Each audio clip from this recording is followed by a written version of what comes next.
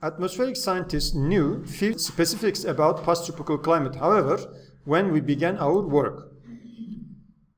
Cümle içerisinde iki virgül arasındaki however nerede olursa olsun bunu cümle başına alıyorduk. Ancak fakat atmosfer bilimcileri, atmosferle çalışan bilim adamları, atmosfer üzerine çalışan knew biliyorlardı few specifics. Az sayıda, az miktarda spesifik şey biliyorlardı. Specifics dikkat edersen sonunda s var.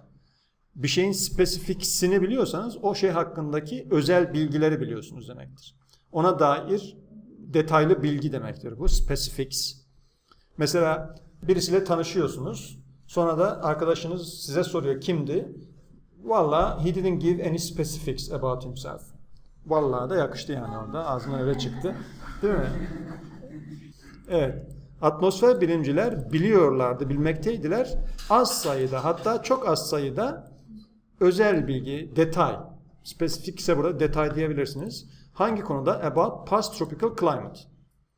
Geçmişteki tropik iklim hakkında çok az şey biliyorlardı. When we began our work. Biz işimize, çalışmamıza başladığımızda atmosfer bilimcileri iklim, e, tropikal iklim hakkında geçmişteki çok az şey biliyorlardı. Seafloor sediments, which can provide exquisite records of climate on multi-thousand year timescales, accumulate too slowly to record veya to record such information about the past 1000 years. Seafloor sediments, deniz tabanı, floor, evdeki tabandır. Ayağınızın tabanı olmaz, o Türkçe'de var. Arabanın tabanı olur. Car floor dediğiniz zaman, hatta floor mat diye geçer. Nedir floor mat? Paspas, aynen öyle. Bildiğiniz her türlü paspas. Arabalarda da olur tabii ki. Arabadan az önce bahsetmiştik. Görüyorsunuz car floor mat. Car floor olunca da bu metlerin konduğu yer oluyor işte şurası. Evet. Ee, sea floor olduğunda da denizin dibi tabi taban olmaz denizin dibi. Efendim sediment ne demek arkadaşlar? Çökelti. Bitişik yazalım. Tamam senin hatırını mı kıralım? Ha bakın burada sea floor sediment core örneği var mesela. Bakın burada örnek alıyorlar. Şurada örnek almak için kullanılacak mesela malzemeyi hazırlıyorlar. Şurada alınmış, bakın kesilmiş. İşte şunlar katmanlar gösteriyor gördüğünüz gibi. Şurada depoluyorlar. Ciddi ciddi alanlar. Değil mi? Evet.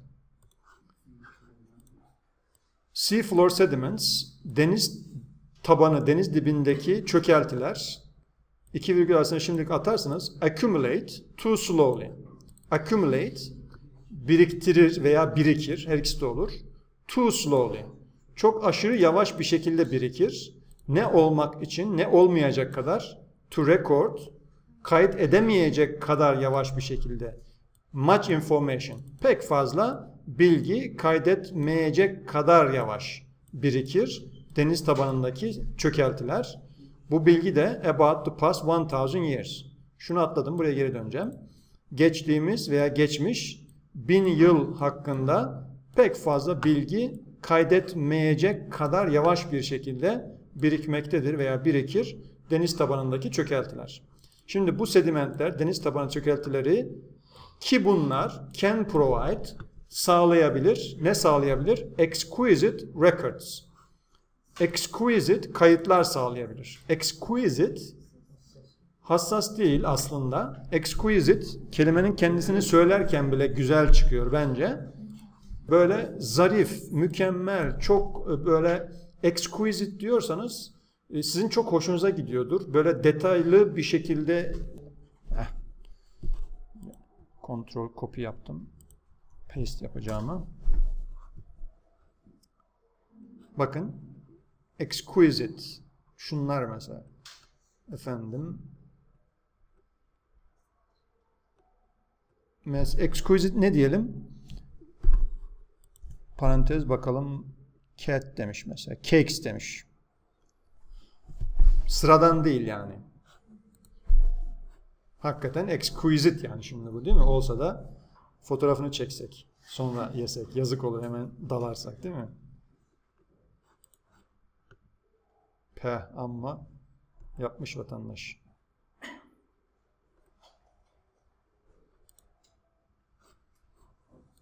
Baya baya bir sanat değil mi bu da? Başka ne var? Fu bathroom demiş. Enteresan mesela. Peh. Burada da yani şimdi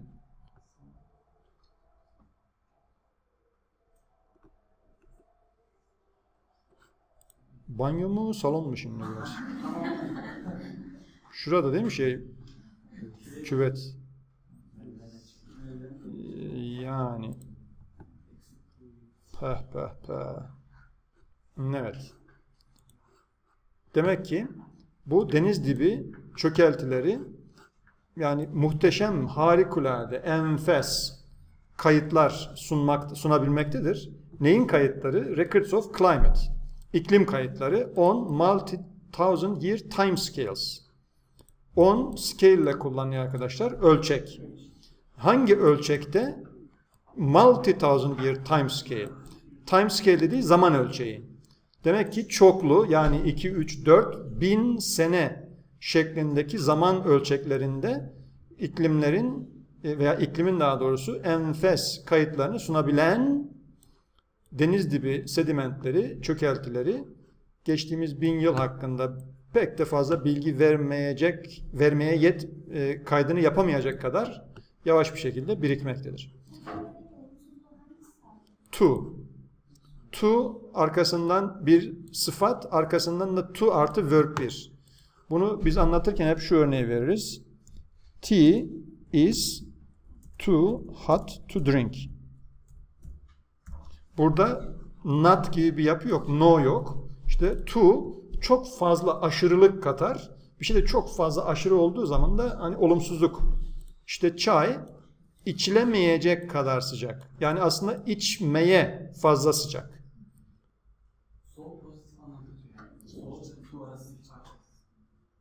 Ha evet.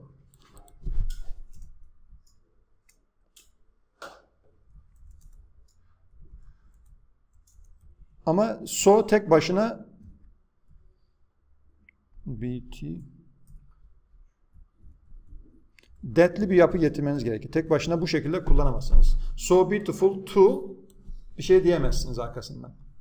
She was so beautiful that o kadar güzeldi ki kız nokta nokta. Ama burada too hot to drink. Evet, yani içmek için çok sıcak. Bunu Türkçe'ye aktarırken de içilemeyecek kadar veya içemeyecek kadar sıcak diyoruz.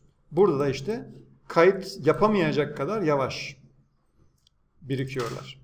Many corals produce annual bands, but the creatures rarely live longer than 300 years, providing no records from 300 to 1000 years ago. Many corals, birçok koral, mercanlar, mercanlar biliyorsunuz canlı hayvanlar arkadaşlar.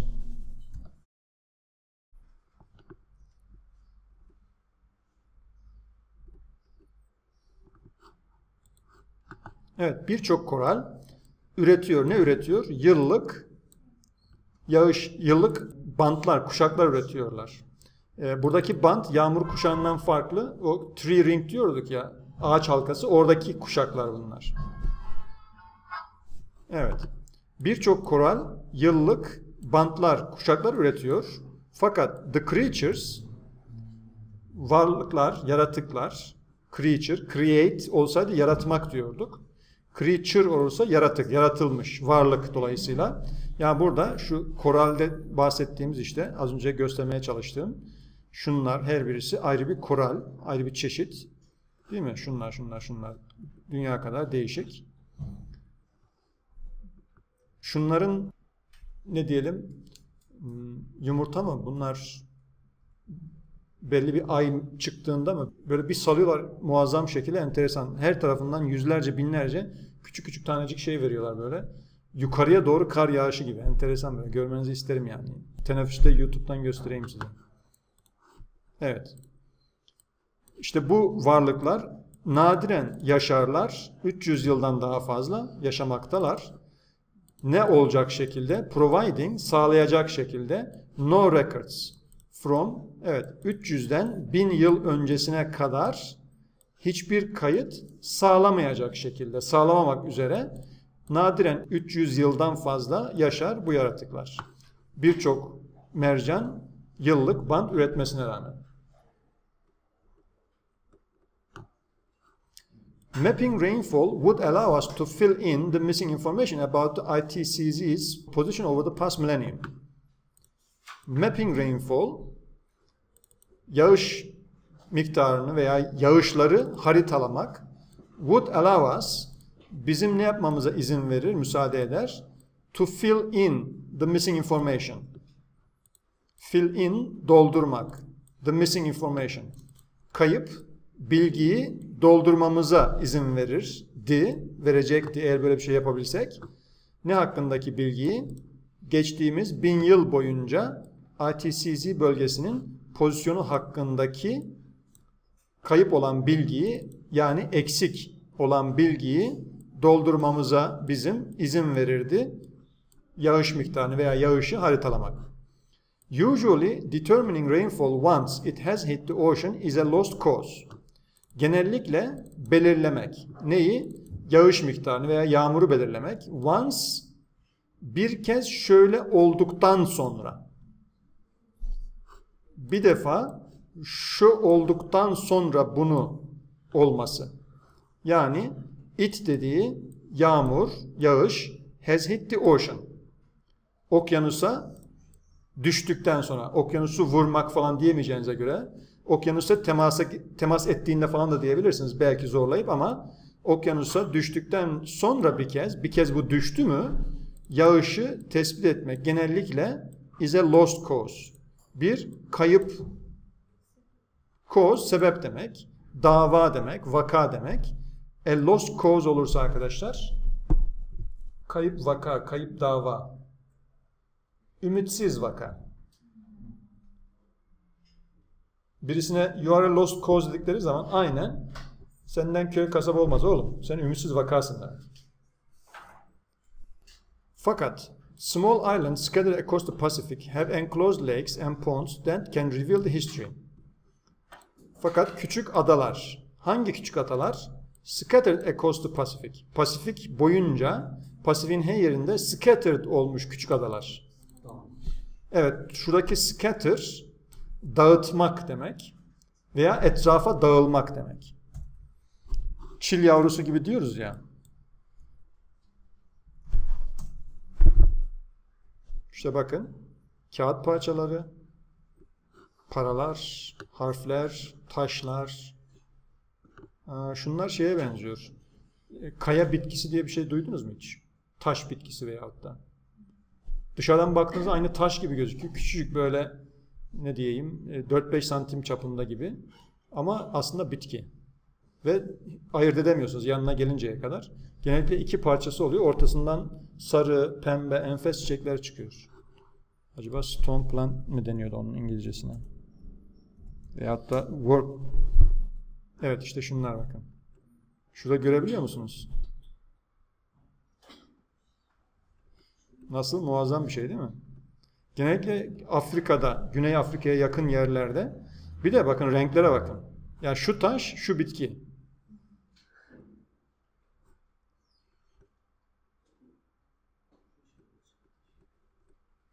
Renkleri görüyor musunuz?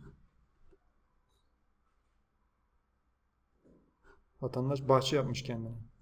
Türkiye'de satılıyor mudur acaba? İngiltere'deyken çok güzel bir kaktüs bahçesi yapmıştım kendime. Şöyle ne diyeyim 60 70 80 santim çapında e, küçük plastik leğenlerden almıştım. İçerisini doldurmuştum kaktüsle.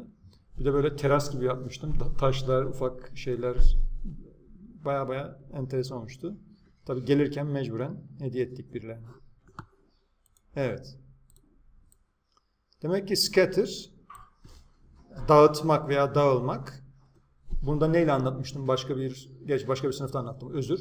Bayanların inci kolyesi böyle çekince bütün taneler scatter olur her taraf. Demek ki Pasifik boyunca dağılmış olan küçük adaların closed pardon enclosed lake ve pondları var. Enclosed, closed'dan da çıkarabilirsiniz.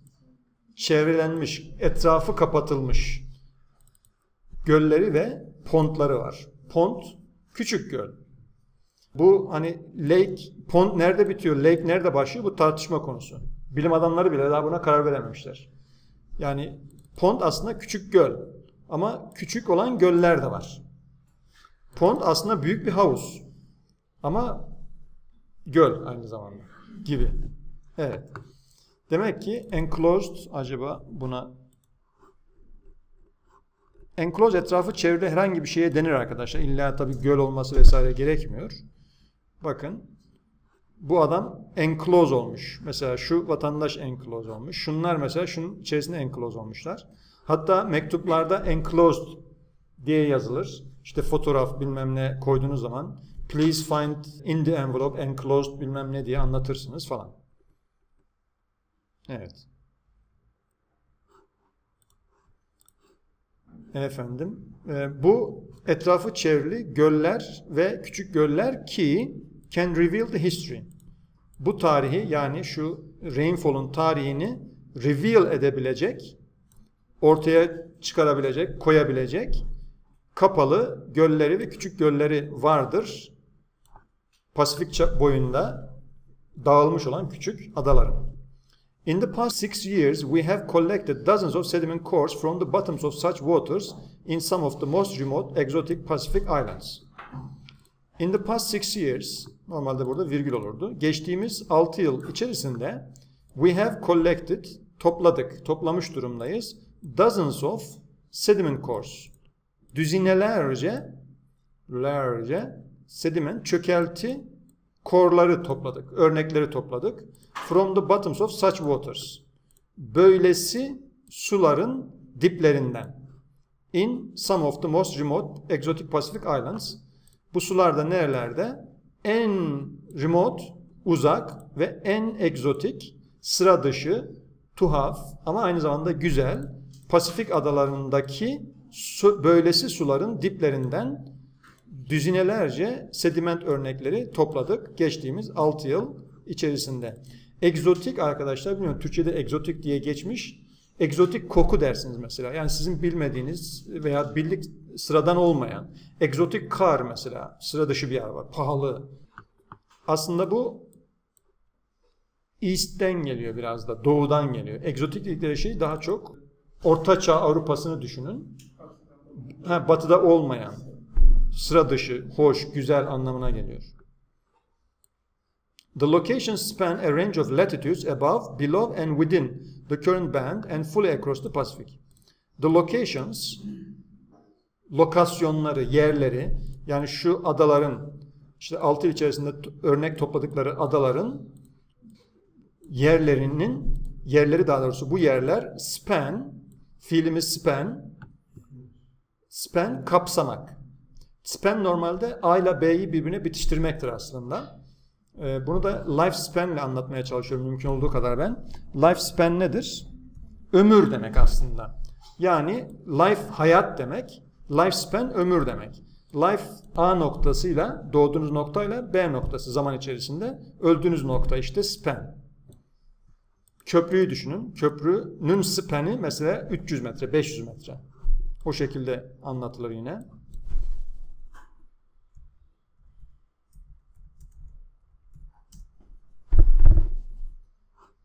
Bakın.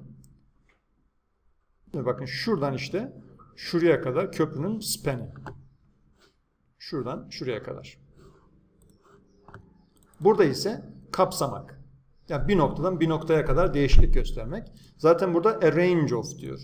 Bir dizi latitude, enlem içeriyor. Bir dizi enlemi kapsıyor. Bu enlemler de şurada latitude'den sonra above ile latitude arasında which is, which are düşmüş durumda. Enlemler ki nerededir? Üstünde, altında ve içerisinde. Neyin? The current band. Şu andaki kuşağın üstünde, altında ve içerisinde kalan bir dizi enlemi içeriyor ve fully across the Pacific. Ve Pasifik boyunca da tamamen bir dizi enlemleri içeriyor veya kapsıyor. Bu örnek alınan lokasyonlar. We can define where the rain band was during, the, during a given time period by pinpointing places that experience intense rainfalls in that period at various latitudes. We can define. Biz belirleyebiliyoruz, tespit edebiliyoruz. Neyi? Where the rain band was. Yağmur kuşağı nerede idi? During a given time period. A given time period.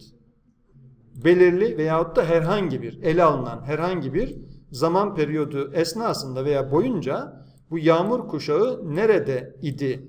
Bunu tespit edebiliyoruz. Ne yapmak suretiyle? By pinpointing places. Yerleri pinpoint etmek suretiyle. Evet şuradaki point nokta demek normalde. Pin bu da iğne. Evet pin bildiğiniz aslında toplu iğne.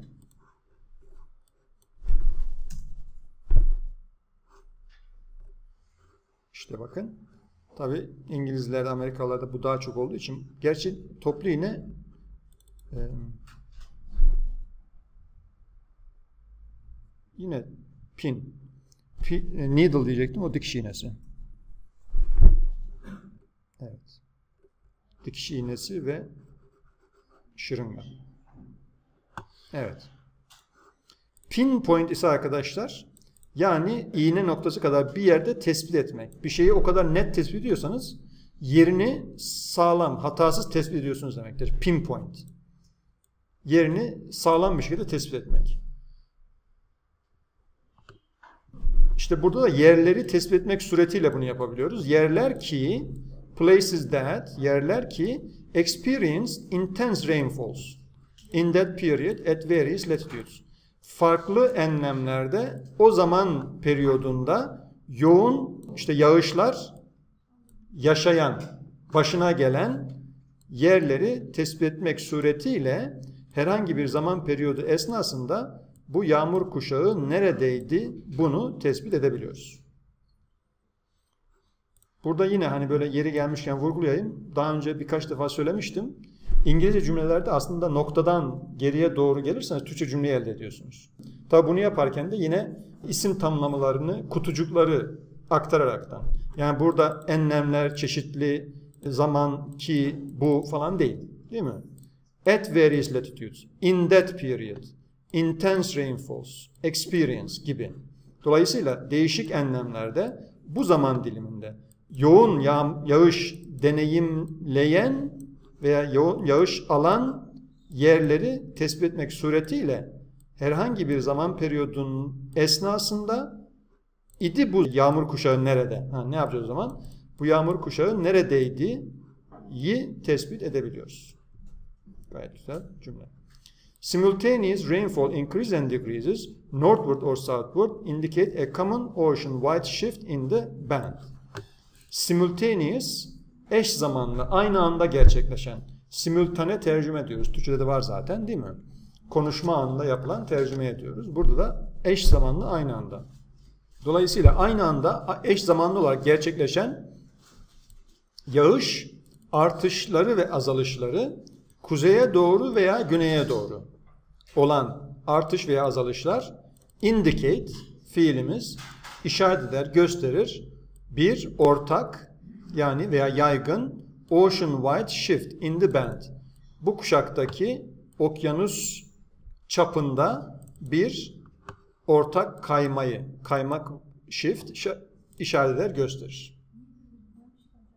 Nerede? Common'dan sonra mı? Yani şu common shift ve ocean wide shift. Yani buradaki common virgül koyduğu için anlıyorsunuz ki a common shift in the band. Hem ortak hem de okyanus çapında. Yani bölgesel değil. Evet. Biraz uzunca bir ders oldu. Sorunuz var mı?